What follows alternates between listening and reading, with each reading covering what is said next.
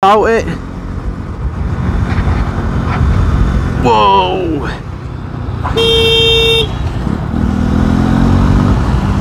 Fucking hell. That was sketchy. Prick.